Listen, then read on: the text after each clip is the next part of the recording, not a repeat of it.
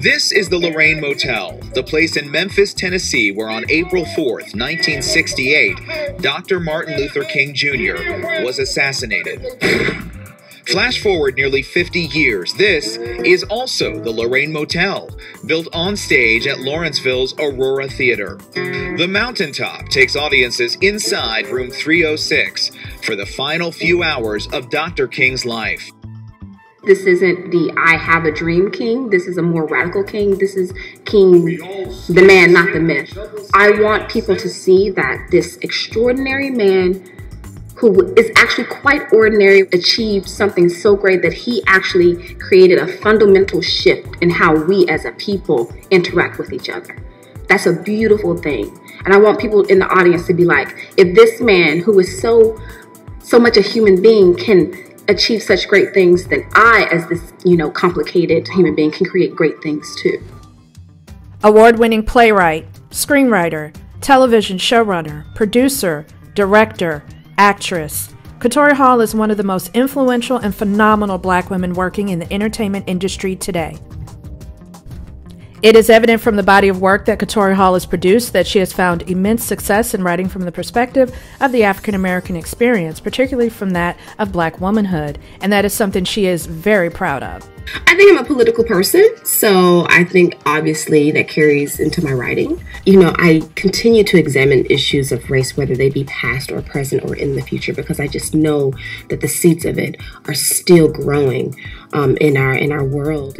And that desire to use the stage and screen to elevate black voices has made Katori Hall a force to be reckoned with in the entertainment arena, with her list of accomplishments being quite extensive, including two NAACP Image Award nominations, two Tony nominations, winning the Laurence Olivier Award, and winning a Pulitzer Prize. She is also currently the executive producer, writer, and showrunner for the hit TV series P Valley.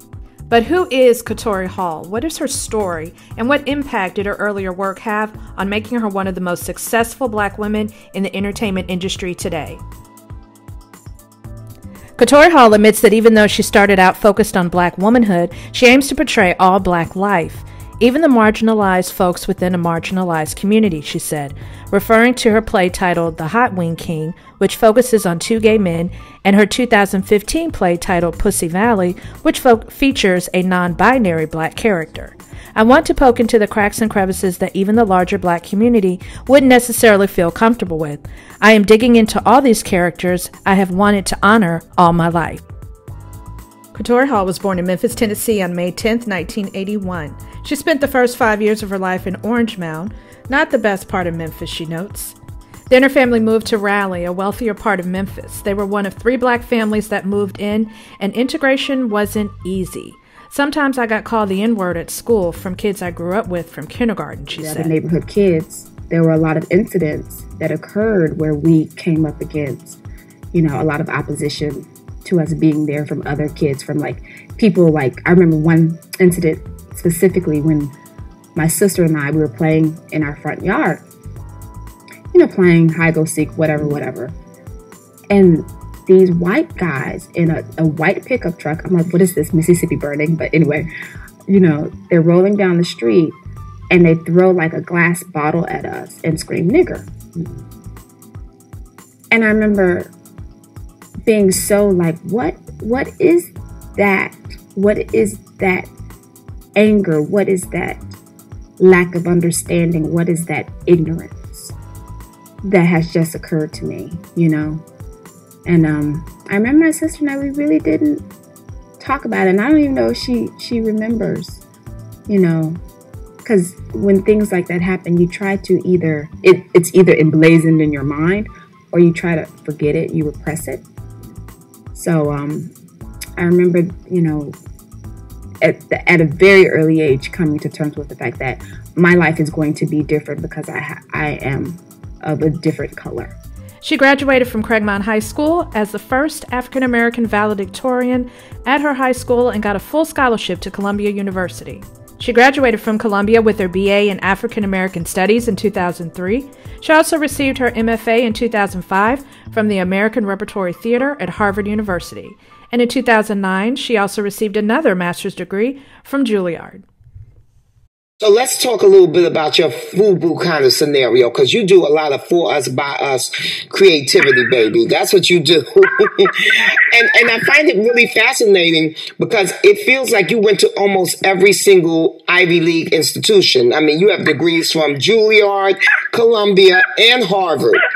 So I, I need to know from you, baby, did you ever feel pressure to create under the white gaze?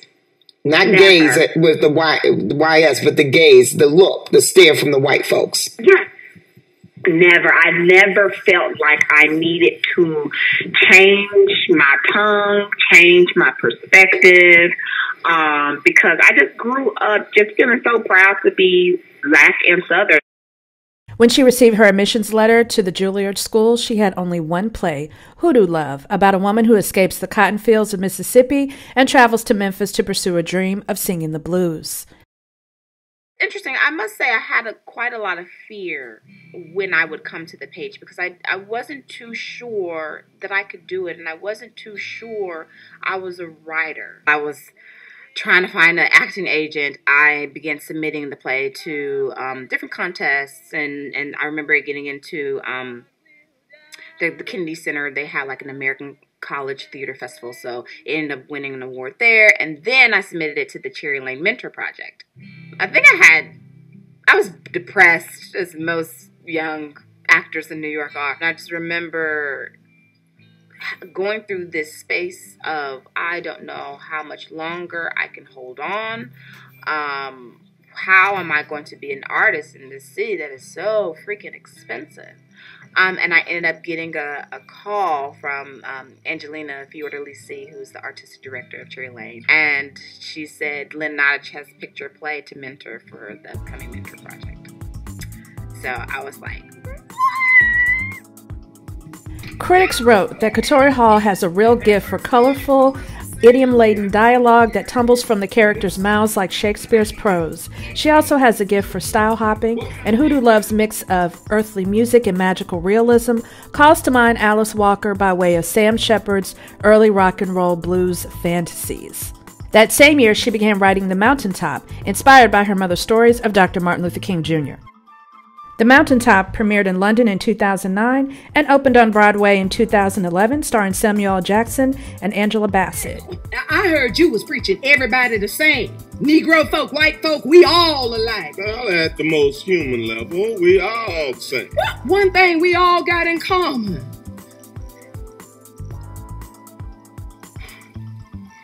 We scared, Camae. We all scared. We're scared of each other, scared of ourselves.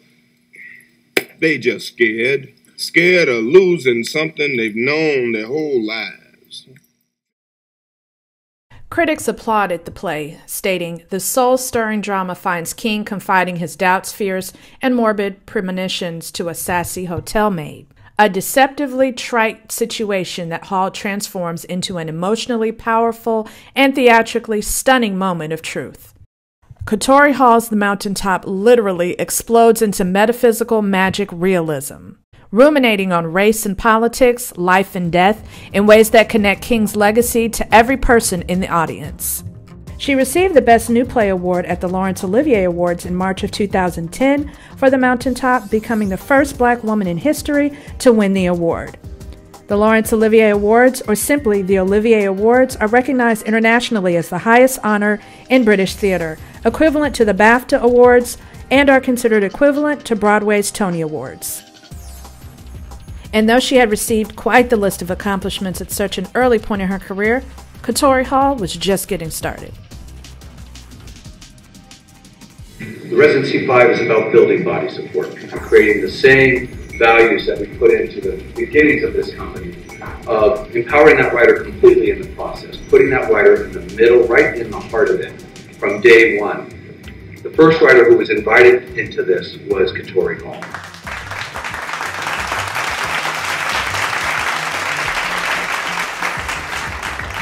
So when I found out that I was going to be part of Residency 5, I was a little flabbergasted.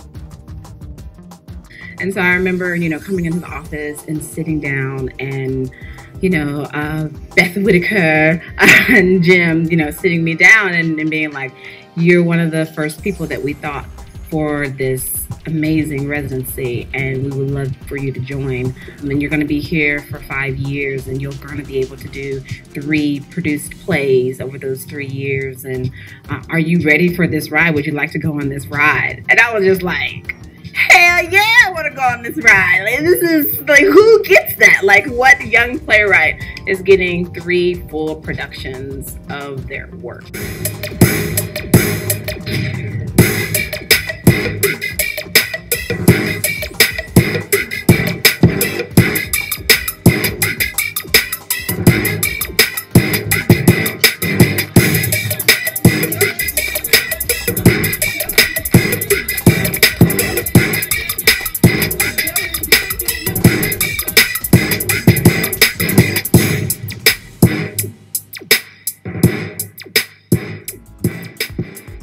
Though the artistic director of the Signature Theater called Katori Hall fierce and fearless and said Hurt Village was an incredibly powerful piece of writing, only a few critics applauded the production, and several wrote reviews revealing a refusal to engage with the play and its characters. Hall responded by saying, I can't make them learn about being poor and black in Memphis, Tennessee, even as the play attempts to do just that. But that didn't stop her from moving ahead with another fearless piece of work titled our Lady of Kibeho, which did garner more critical praise. And I remember standing in front of the television in my bedroom in Memphis, Tennessee, and seeing all these brown bodies floating down the river. And I was just struck by it. it, it that particular vision imprinted itself on my mind and it stayed with me. I was like, how did this happen? Why did this happen? Why are these people who look like me floating down a river? It wasn't until many years later, when she traveled to Rwanda, that she heard of the visions at Kibeho. And I had always been wanting to write about uh, that tumultuous, you know, moment in history. And I was like, this is the perfect way. This is the perfect frame to to do so. I didn't want to do the usual, like, in, you know, during the genocide. I wanted to do something that was about the before. And then she went on to write her very first musical, which proceeded to take the whole world by storm.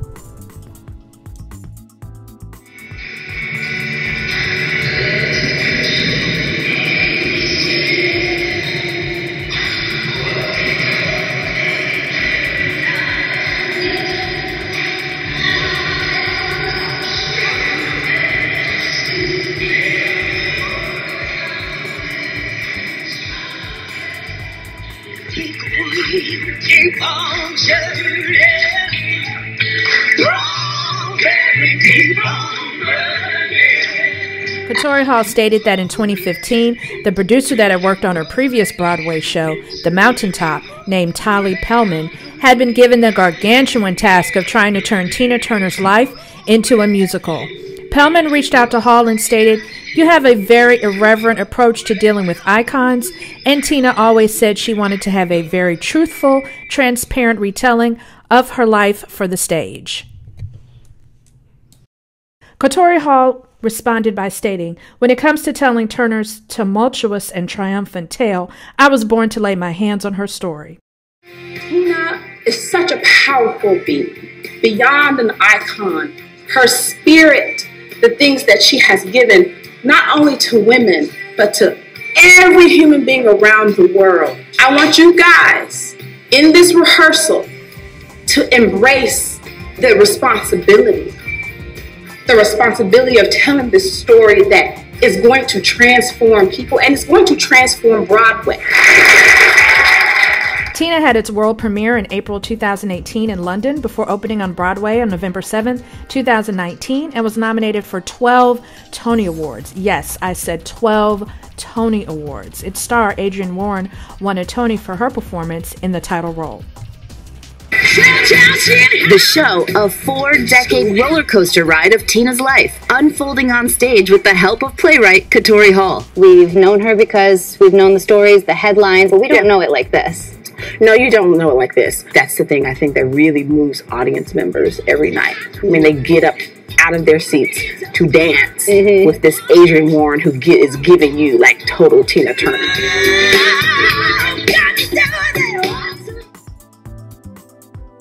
Katori Hall then completed her residency with her third play titled The Hot Wing King and was celebrated by her loved ones in this hilarious YouTube send off.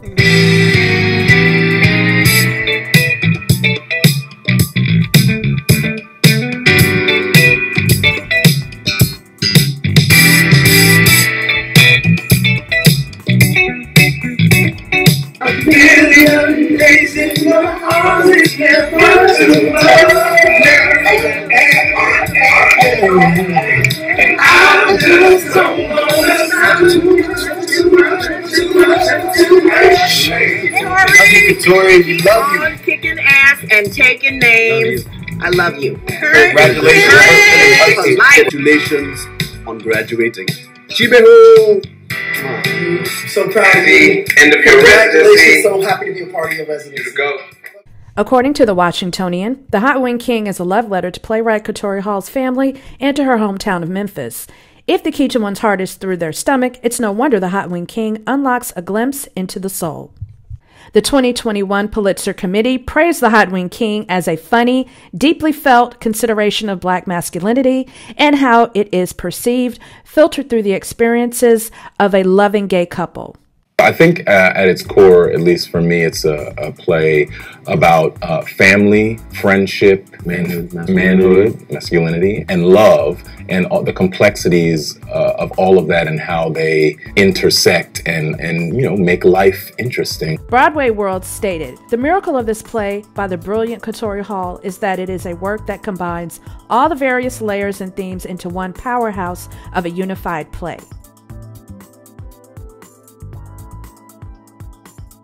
And her latest work need no introduction. You should know it simply by the infamous intro song. Down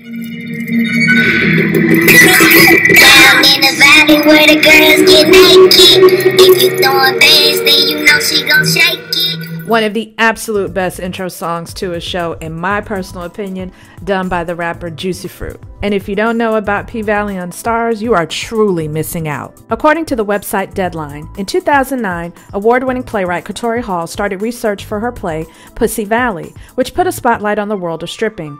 She stepped into the heels of these women, took pole dancing classes, and even spent her 30th birthday in the locker room of the New York City strip club Sin City Bronx. On the surface, Hall's experiences to inform her play seemed like a fun adventure, but in reality, it was a cultural study to inform a more in depth story about these women, their experiences, personal narratives, and the stigma that is often attached to their profession. The play deconstructs the stereotypes these women are often subject to and doesn't just make it about hypersexualized pole dancing. We often forget that these women are people with stories and emotions, not just objects as they are often portrayed, she says. After the play made its debut at the Mixed Blood Theater in Minneapolis in 2015, it got picked up by Starz and debuted in July of 2020 and now is on its second season.